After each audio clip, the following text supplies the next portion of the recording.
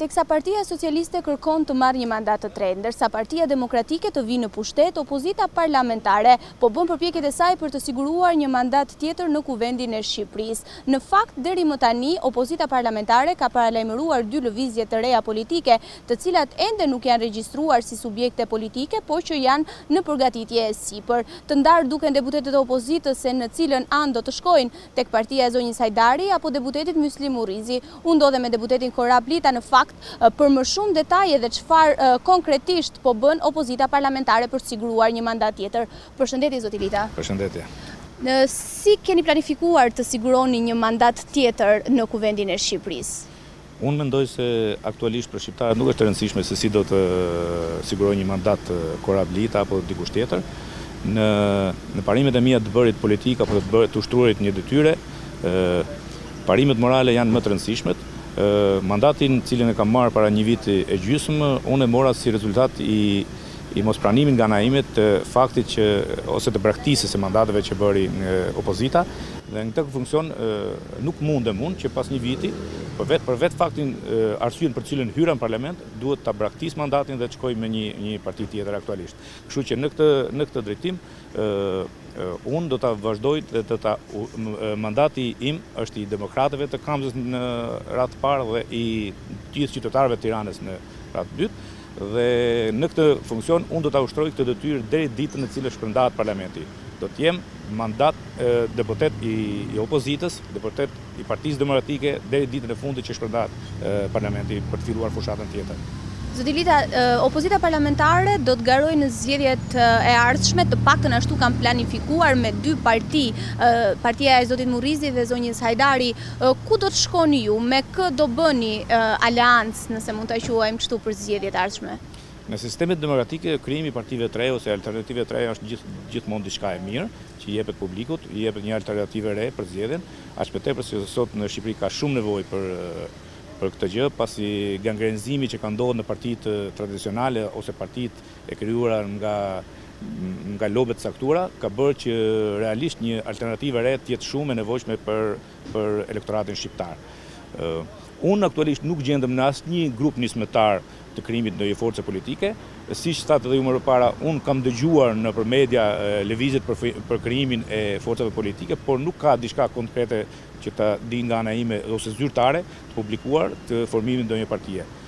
Gjithsesi kjo do ngelet pas mbylljes mandatit do ngelet për ta parë se kush do të jetë lëvizja ime e radhës. Gjithsesi një ide duhet ta keni se në cilën anë duhet të shkoni, se cila rrymë nëse mund ta quajmë kështu ju përshtatet më së miri për të garuar në zgjedhjet e ardhshme. Unë nuk kam një ide, unë jam i vendosur, kam lindur dhe do të vdes i djathtë. Dhe të jeni të sigurt që do jem deputet i djathtë dhe edhe nëse s'jam deputet do të jem aktivist dhe qytetar i djathtë. Si e gjykoni faktin që zonja Hajdari dhe zoti Murrizi po vijnë me dy parti të reja?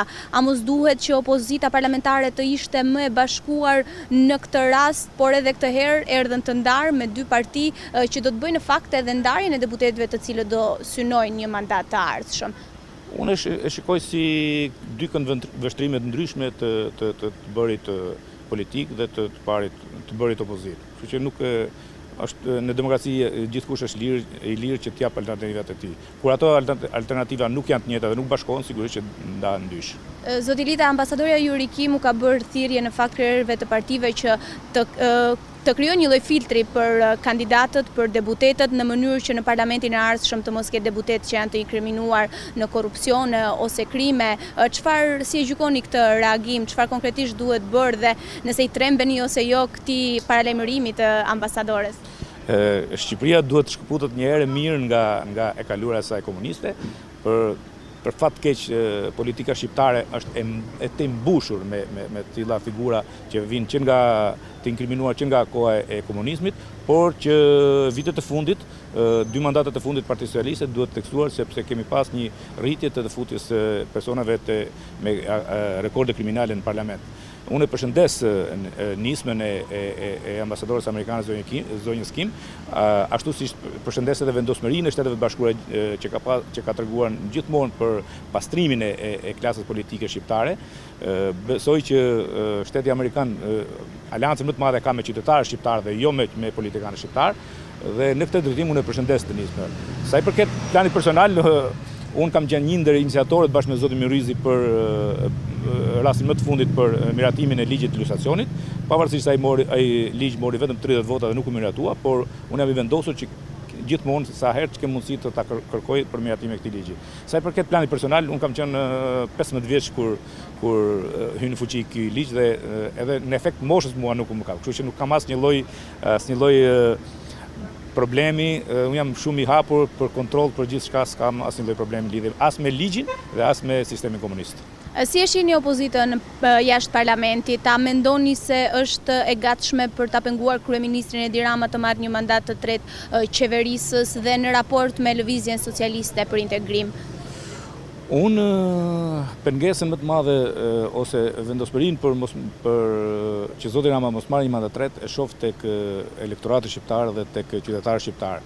Sot më të vujturit se kush, se kurrë janë qytetarët shqiptar, kur mbi kurrizin e tyre ka shtatë vjet që shofin kanë reforma të cilat janë të dhimbshme për për ekonominë e tyre, ekonomia e tyre vazhdon çdo ditë e më shumë që të që të përkeqësohet. siç është edhe rasti i fundit i nismës së qeverisë për hapjen e kazinove. Duhet të theksuar se para disa vitesh kjo kjo kjo tezë ju shit ju shit shqiptarëve si fundi i marrëzisë nga ish ministri kampion, siç e qunin atëherë, dhe sot kjo marrëzia kthehet dhe bëhet diçka e re. Pse mendoni se ju rikthyen socialistët kësaj nisme? Këtë gjithkush e din. Rama Rama kryeministri Rama dhe qeveria e tij nuk bën dot ose nuk qeveris dot pa pasur një aleancë me me me me krimin e organizuar me para të pista, kjo është një mënyra më e mirë për ta rikthyer aleancën e tyre, për të pastruar para të pista të cilat qarkullojnë në në në Shqipëri dhe këto për t'i përdorur pastaj pas një viti në fushatën elektorale. Duhet të theksoj që edhe pse ka dalë dhe është publikuar nga presidenti i Republikës afati i skadencës së kësaj mazhorance, Qytetarët shqiptarë nuk duhet të presin njëzet e pesë prillin për ta për ta hedhur në kosh këtë mazhorancë, por duhet me reformat e dhimbshme të cilat po merr kundër interesit të qytetarëve dhe kundër ekonomisë së tyre, duhet një orë më parë që të ngrihen dhe ta përmbysin këtë këtë qeveri. Zoti Lita, çfarë mendoni për zërat në fakt që qarkullojnë së fundmi në media se Presidenti Ilir Meta mund të dorëhiqet pas zgjedhjeve të njëzet e pesë prillit dhe të synojë të jetë pjesë e qeverisë. Unë e kam paralajmëruar edhe në seancë parlamentare para para pushimeve, seancën e parafundit para pushimeve, kur ishte raporti për shkarkimin e presidentit, e kam paralajmëruar që kjo është një një një thirrje që zoti Rama i bëri presidentit për një aleancë të të, të vitit tjetër. Sigurisht, këto për një aleancë për mbijetesën e tyre në pushtet, janë të predispozuar të bëjnë lloj-lloj aleancash, të japin dorëheqje, të marrin detyra të tjera vetëm me qëllimin që të rrinë në tregun politik. Zoti Lita, për të bërë edhe një parashikim, pavarësisht se jemi ende herët për ta bërë, a mendoni se kryeministri Edi Rama do të marrë një mandat të tretë qeverisës apo do ketë një rotacion politik? Si e shihni të ardhmen e qeverisë, por edhe ndryshimet që priten ose jo sipas jush? Unë mendoj që kryeministri Rama nuk duhet ta marrë një mandat politik.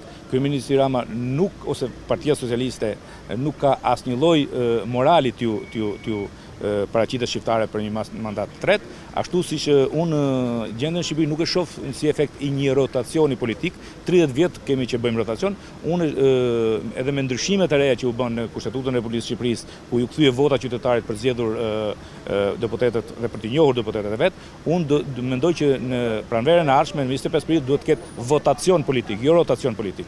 Duhet të votojnë njerëzit që të kthejnë qeverisjen e tyre. Ju mendoni se opozita e bashkuar, opozita jashtë parlamentit duhet të rikthehet në pushtet? Apo shikoni kryemin? Është emergjente që duhet të kthehet në pushtet, duhet një alternativë e re për t'u kthyer në pushtet, një alternativë e riafirmuar e opozitës për t'u kthyer në në pushtet. Kjo mazhorancë nuk ka asnjë lloj morali që t'i paraqitet elektoratit për për një votim të mandat tretë. Faleminderit zoti Lita. Faleminderit juve.